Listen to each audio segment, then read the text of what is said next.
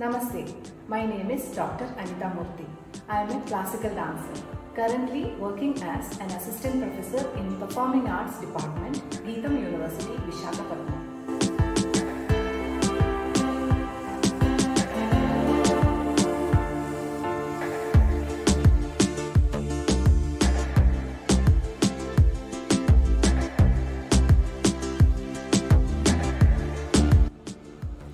I consider myself very much fortunate to be one among the finalists of Glammonn Mrs. India 2023.